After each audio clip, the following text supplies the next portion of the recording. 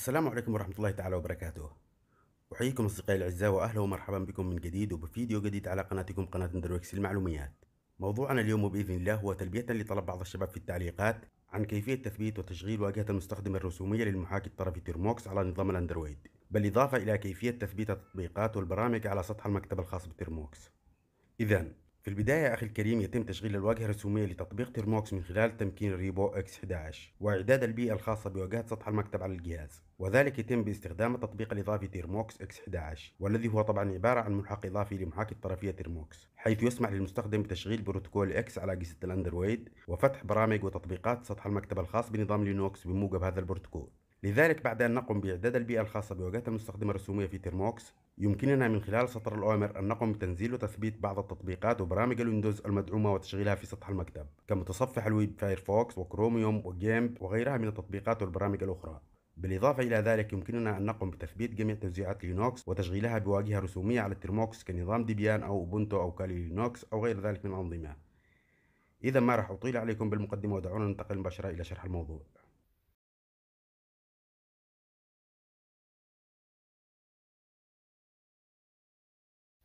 الآن في البداية أخي الكريم بعد فتح واجهة ترموكس راح نقوم أولا بتنفيذ الأمر apt update and apt upgrade لتهيئة المستودعات وترقية الحزم والمكتبات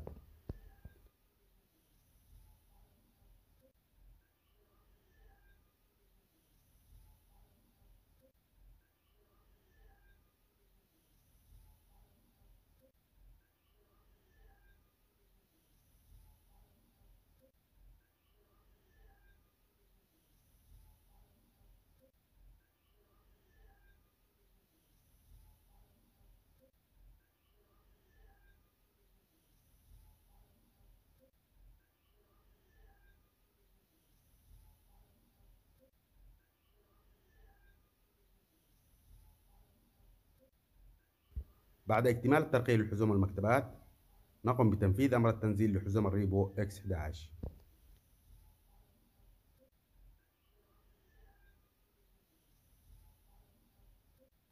الآن بعد اكتمال التثبيت لحزم ال repo راح نقوم بتنفيذ الأمر التالي لتنزيل الحزم والتبعيات اللازمة لتشغيل الواجهة الرسومية في Termux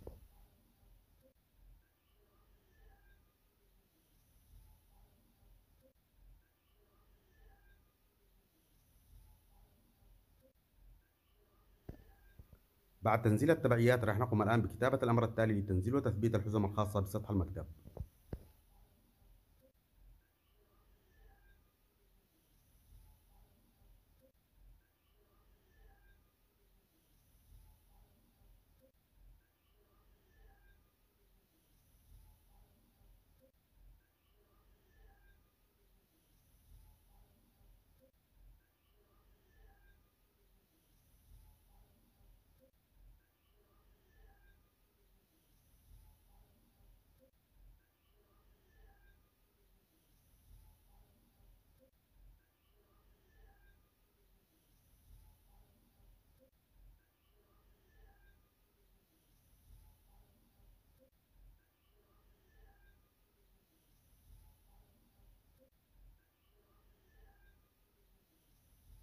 أخيرا بعد اكتمال التنزيل والتثبيت لجميع الحزم السابقة نقوم بتنزيل البرنامج النصي لبدء التشغيل من خلال هذا الأمر. طبعا وكالمعتاد راح أضع لكم أسفل الفيديو رابط لملف يحتوي على جميع الأوامر المستخدمة في هذا الشرح.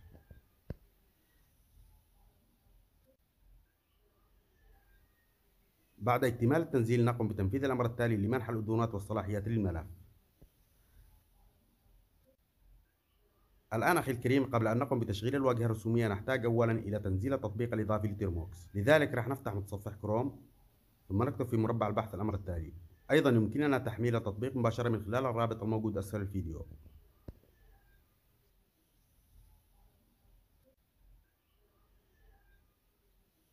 نقوم الآن بتنزيل التطبيق الإضافي الذي يتوافق مع نوع الجهاز.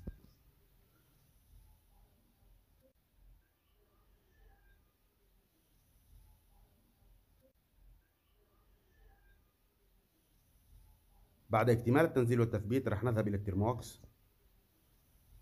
ثم نقوم بتنفيذ أمر التشغيل. إذا أخي الكريم نحن الآن في واجهة المستخدم الرسومية الخاص ب Termux. وكما نلاحظ لدينا هنا على سطح المكتب أيقونة trash أو المهملات و file system الخاص بملفات النظام وأيقونة home الذي هو المجلد الرئيسي لواجهة Termux. طبعا يمكننا أن نقوم بعرض شاشة كاملة لسطح المكتب من خلال الضغط على أيقونة الإعدادات. ثم نقوم بتفعيل خيار full screen. أما إذا أردنا إظهار لوحة المفاتيح يمكننا أن ننقر على أيقونة ال keyboard في شريط المفاتيح. ولإخفاء أو إظهار هذا الشريط راح نقوم بالضغط على الشاشة بثلاث أصابع والتمرير إلى الأسفل وسيتم إخفاء الشريط. ونفس الطريقة لعرض الشريط مرة أخرى. أما بالنسبة لفتح ال terminal أو متصفح الويب يمكننا ذلك من خلال النقر على الأيقونة في شريط الأدوات أسفل الشاشة.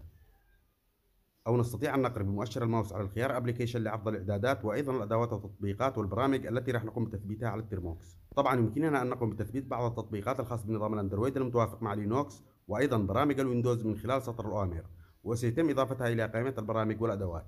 فمثلا لتثبيت متصفح كروميوم وتشغيله من خلال هذه الواجهة نقوم بفتح ال terminal ثم ننفذ الأمر التالي لتنزيل وتثبيت حزم TUR repo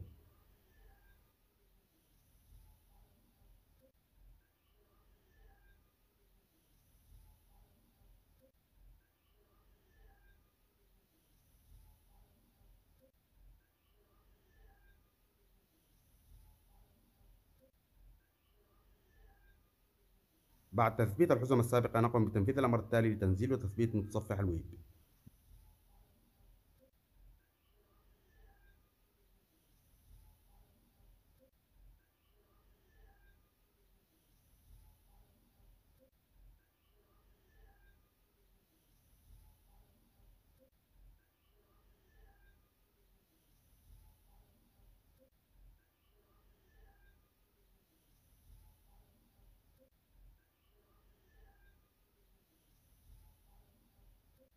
بعد اكتمال التنزيل والتثبيت راح نقوم بالضغط على أيقونة web browser ثم نختار المتصفح الافتراضي للويب والنقر على موافق.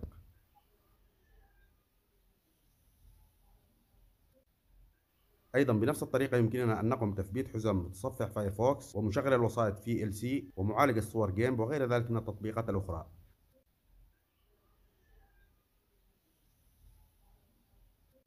طبعا نستطيع معرفة تفاصيل الحزم المتوفرة عن طريق كتابة الأمر package search ثم اسم التطبيق. ونضغط enter. بعد ذلك راح يعرض لنا معلومات وتفاصيل التطبيق وهل يمكن تثبيته أم لا. وكما نلاحظ لتثبيت متصفح Firefox راح نبحث عن الحزم باسم التطبيق لنتأكد أولا من إمكانية التثبيت. بعد ذلك نقوم بتنفيذ أمر التنزيل والتثبيت للتطبيق.